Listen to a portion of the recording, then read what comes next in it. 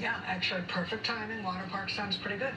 Thank you, Gail. And that's it for 4 News at 10. We're going to take a short break and be right back with the 11.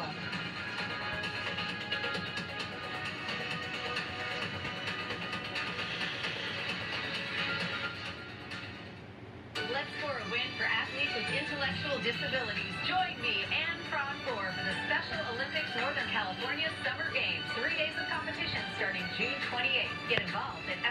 I'm Suzanne Rocha with Calho. I've been helping Bay Area homeowners sell their properties for years.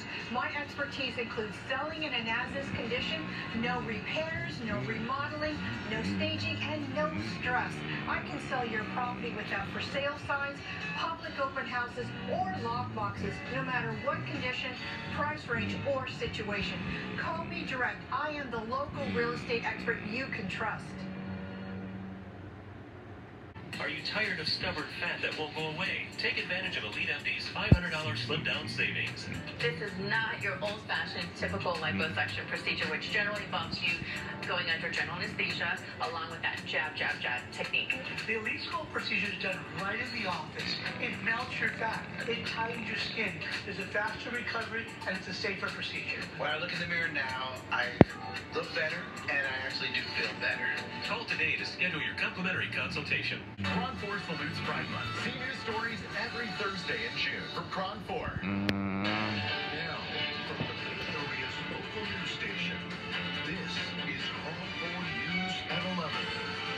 Where's Sheng Thao? Where's Sheng Thao? Where's Sheng Thao?